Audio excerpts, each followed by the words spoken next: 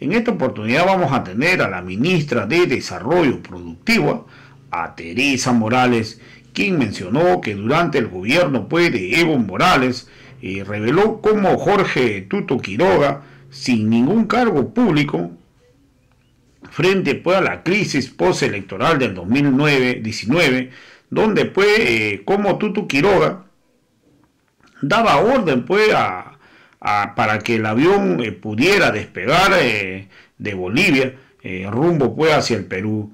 La verdad que eh, Tuto Quiroga menciona a Teresa Morales, dio orden pues al general para que dejara salir el avión que llevaba a Evo, a Evo Morales ¿ah? y al vicepresidente eh, Álvaro García Linera. Entonces, eh, la pregunta es, ¿qué papel jugó Tuto Quiroga? Si esa es la pregunta que uno se, se, hiciera, ¿no? ¿Qué papel jugó Tuto Quiroga? ¿Qué tenía que ver él?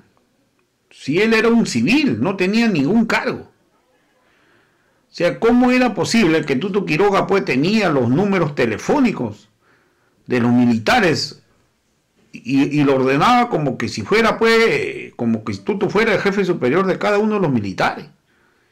Si es la pregunta que uno se hace. ¿Qué cosa hubo detrás? Entonces, eh, la verdad que este es un tema que considero pues se tiene que investigar. ¿Qué es lo que realmente hay dentro de las Fuerzas Armadas? ¿Cómo es posible que un civil pueda ordenar a alguien de las Fuerzas Armadas? Esa es la preocupación hasta el día de hoy. Y entonces, lógicamente, que todo este grupo que se reunieron pues la Universidad Católica, armando prácticamente eh, lo que han hecho, han conspirado contra el gobierno y todo este tipo debe ser incluido en la demanda. Yo no sé por qué hasta el día de hoy no están siendo procesados. Porque todo lo que han hecho ha sido irregular. Todo, hasta la elección de, de Yanine Áñez, han invocado pues un artículo del año 2001, prácticamente cuando esto ya ha estado desfasado. Entonces, la verdad, aquí hay mucho tema por investigar y esto pues lleva al análisis cómo están las cosas el día de hoy para evitar cualquier cosa. La verdad que vamos a escuchar a Teresa Morales, quien recuerda pues un momento cuando Tuto Quiroga prácticamente ordenaba a los militares a su gusto y antojo. Vamos a escuchar, vamos a escuchar pasajes pues lo que fue la intervención de la ministra de Desarrollo Productivo a Teresa Morales. Además, en paralelo, Fuerzas Armadas y Policía ya no le obedecían a Evo Morales no le permitían usar el avión, fue un problema para él conseguir que lo llevaran en avión a, eh, al Chapare y después el comandante de la Fuerza Aérea no le dejaba despegar hasta que Tuto Quiroga, imagínense quién, Tuto un diputado, era senador, alcalde, no sé, Tuto Quiroga, en presencia mía, el día 11 de eh, noviembre, llama en presencia mía y de todos, de Carlos Mesa, Ricardo Paz, de Jerjes Justiniano, de Doria Medina, Roberto Moscoso, de Monseñor Scardellini y unos dos asesores de la Unión Europea y de la, em, Embajada de España, este, llama delante de todos, primero dice, eh, no te preocupes Adriana, lo dejamos despegar, si no hay problema por eso, la cosa es dialogar.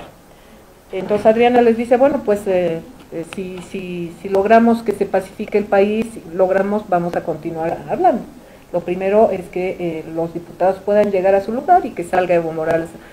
Llama, primero Tuto dice, bueno, eso lo podemos resolver, ¿no es cierto? Dice así, y todos le asienten, pero él principalmente miraba a Jerjes Justiniano, asienten todos, y él agarra el teléfono y lo llama al comandante de la Fuerza Aérea.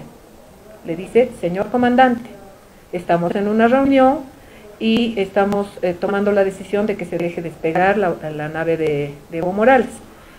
Mm, y eh, el comandante le pregunta, seguramente se supone, Evo Morales está con Álvaro García y Gabriela Montaño. Y él dice, sí, tienen autorización para despegar no solo Evo, sino Álvaro y Gabriela también. Los tres pueden despegar y si quieren con alguien más que ellos decidan. Generoso. Entonces él es el que da la instrucción como un civil que no es nadie le da la instrucción a un comandante de la Fuerza Aérea y acto seguido eh, el avión mexicano despega.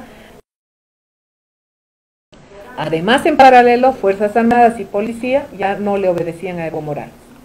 No le permitían usar el avión, fue un problema para él conseguir que lo llevaran en avión a, eh, al Chapare y después el comandante de la Fuerza Aérea no le dejaba despegar hasta que Tuto Quiroga, imagínense quién, Tuto un diputado, era senador, alcalde, no sé, Tuto Quiroga, en presencia mía, el día 11 de eh, noviembre, llama en presencia mía y de todos, de Carlos Mesa, Ricardo Paz, de Jerjes Justiniano, de Doria Medina, Roberto Moscoso, de Monseñor Scarpellini y unos dos asesores de la Unión Europea y de la, em-, Embajada de España, este, llama delante de todos, primero dice, eh, no te preocupes Adriana, lo dejamos despegar, si no hay problema por eso, la cosa es dialogar.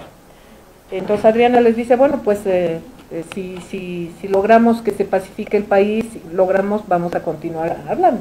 Lo primero es que eh, los diputados puedan llegar a su lugar y que salga Evo Morales. Llama, primero Tuto dice, bueno, eso lo podemos resolver, ¿no es cierto? Dice así, y todos le asienten, pero él principalmente miraba a Jerjes Justiniano, asienten todos, y él agarra el teléfono y lo llama al comandante de la Fuerza Aérea.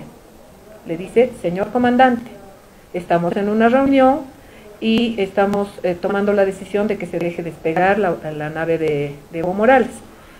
Mm, y eh, el comandante le pregunta, seguramente se supone, Evo Morales está con Álvaro García y Gabriela Montaño. Y él dice, sí, tienen autorización para despegar no solo Evo, sino Álvaro y Gabriela también. Los tres pueden despegar y si quieren con alguien más que ellos decidan. Generoso. Entonces él es el que da la instrucción como un civil que no es nadie le da la instrucción a un comandante de la Fuerza Aérea y acto seguido eh, el avión mexicano despega